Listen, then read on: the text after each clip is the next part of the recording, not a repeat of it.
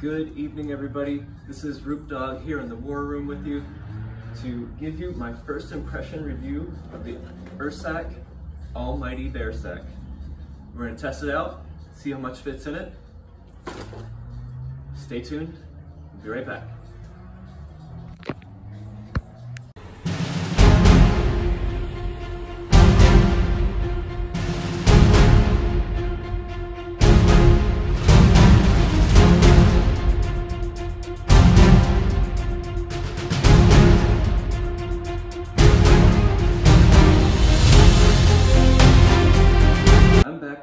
First impression review of the Ursack AllMitey Bear Bag that I'll be carrying this summer backpacking and ideally next summer on the PCT.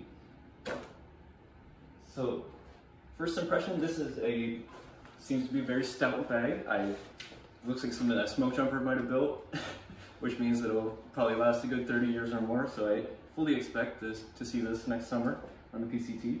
Um, very, seems like more than enough for um, what they claim like four days of food or so. And we're gonna kind of test that out here in a moment. Um, actual measurements uh, were um, 12 by 18, and folded flat, of course. Um, but yeah, it seems like a very sturdy bag. Um, some of the comments I've seen on this bag where it, it looks like a, uh, a, a major, or excuse me, a minor sewed inside of a major, and yeah, that's that's my impression of that too. I'd say that's accurate. Um, I, I was very slightly disappointed. I thought this came with one of the odor-proof bags, um, one of the liner bags, and it did not. Those are sold separately, so heads up there. Uh, anyway, this bag um, is uh, is not waterproof, um, but it is uh, tear resistant um, and uh, and teeth resistant. So uh, bears can't tear it open, they can't undo the knot, uh, and mice, while they might be able to chew through the outer part, um, cannot get through the, the inner green liner, kind of see in there. Um, uh, oh, as far as weatherproofing, you, I read on the website you can spray it with waterproofer uh, if you choose. Um, up to you. Anyway, um, so the dimensions of this bag, Ursack claims I think uh, 10.65 liters, but who can visualize that? So, um, you know, I already bit the bullet. Um, I spent the $112 for this Kevlar sack. Um, so I'm going to give you a demonstration of how much you can actually fit into this um, and uh, safely close it because it should not be overflowing um, to keep the bears out. Anyway, I have labeled for you 46 granola, protein, meal replacement, keto, paleo bars, uh, one pound of trail mix, and um, approximately one day's worth of coffee. And we're to see if all this can fit in there. Um, of course, this is not a complete idea of what you might take on a backpacking trip. Hopefully you eat a little bit healthier than this. Um, although I'm, I'm, guilty of eating like this on some trips, I'm not gonna lie. Um, but we can see if all my groceries can fit into this.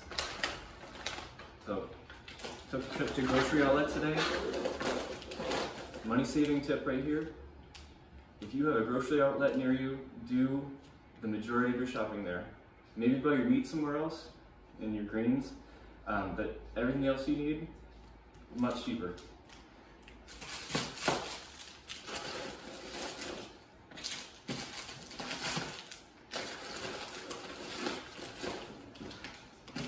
Quite roomy.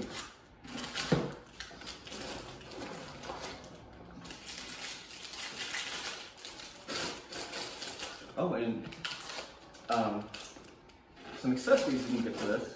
Uh, like I mentioned, I mentioned the odor-proof bags before. You can you can find a really wide selection of those online. Um, and in uh, certain states in the country, depending on where you do your shopping, you might get some of your your shopping in odor-proof bags that you could reuse. So, money-saving tip there. Oh my.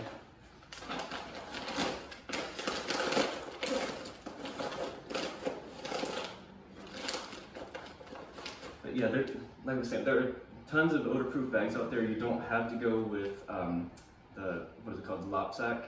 Uh, in fact, I've heard some really, I've read some really bad reviews on that, so I'm actually kind of steering away from that, even though it's, it seems to be uh, like made by the same like company maybe, or like designed to work together with this. Um, I'm not sure the story on that, but I've heard some stories about the sides of the bags delaminating, and so I think I'm just not gonna, I mean, they're so cheap, maybe I'll just buy a selection of them, see what works, right? And do another review. Um, anyway, so I've got, you know, about $50 worth of backpacking groceries there. I've still got plenty of room. There's probably at least six inches of space here. Um, I'm pretty sure I could safely still close that bag. Take our, our waterproofer along, and just something weird shaped. Yeah, actually, that's pretty good. Probably don't want to overdo it, because this hole in the top should be pretty well cinched shut. In fact, even in the instructions in the bag, they're like, use leverage if necessary. it's like, all right, man. So, I got that cranked down pretty good. But I've already taken a misstep. Forgot to thread the cords. So, all right, so the threading instructions. So your cords, they're just laid out plain like this. You're going to want to cross them before you stick them both through the grommet on the opposite side of the sack.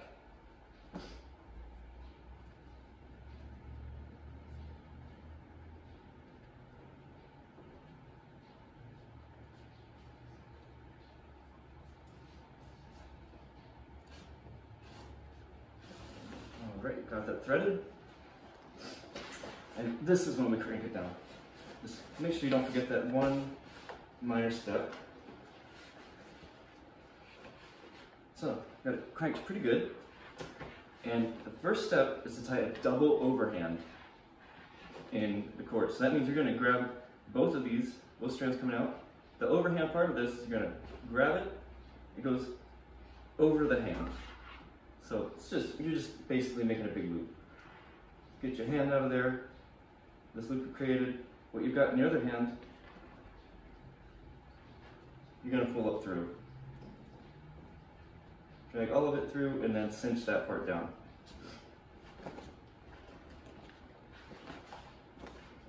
So, nice and tight. Next part. That way there's more. You take both strands. So my shirt's black and these are black, you can't hardly see it. One up. You cross them. And then one end up and through. You come around, up and through again. So just a little twirl in there. I'm not really sure what you call that knot. Then you're gonna crank this down on top of your double overhand. And from there, you've got it. You've got a critter-proof bag. Probably do not want to stuff too much more into this than what we had on the table. Because um, you risk uh, bulging at the top a little bit. Um, but yeah, from here, you can hang this in the tree if you wish, or you can just anchor it to a rock, um, well away from your campsite, of course. Oh, and I mentioned an accessory, uh, another one in addition to the, the odor-proof bags. You can get an aluminum liner for, for the inside of this. Um, because, of course, if a bear does get a hold of this, they may not get your food, but you might not get your food either. It's going to be likely smashed. So um, you can get an additional aluminum liner that um, may help prevent that. So, we are ready to go on our next trip. My first impression seems pretty stout. See how it rolls up?